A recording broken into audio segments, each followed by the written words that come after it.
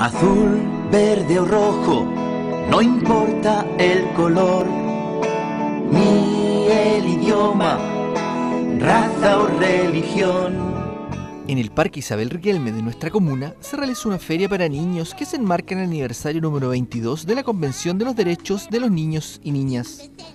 A esta jornada asistieron alumnos y alumnas de los jardines infantiles y colegios de la comuna, quienes pudieron disfrutar de las distintas actividades que la organización, a cargo de la Oficina de Protección de Derechos de Niños y Adolescentes de San Joaquín, les tenían preparados.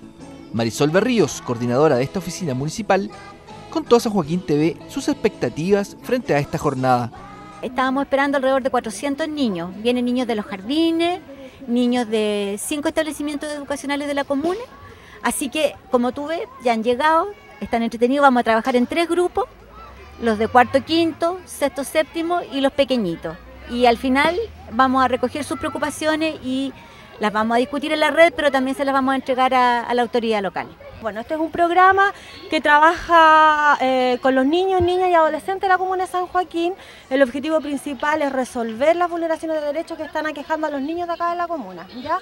Nosotros trabajamos con vulneraciones de derechos asociadas a situaciones de mediana complejidad.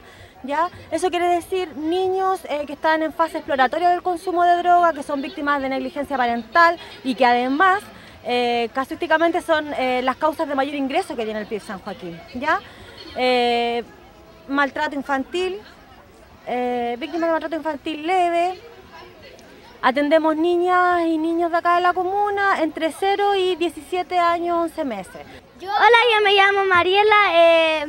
estamos muy felices porque vinimos a la Feria de los Derechos de los Niños. La estamos pasando muy bien aquí porque la feria es muy divertida. Centro Educacional San Joaquín. Finalmente, la Red de Infancia San Joaquín, que estuvo presente a través de las organizaciones que la componen, entregó información relevante para los niños y adolescentes que visitaron esta entretenida feria.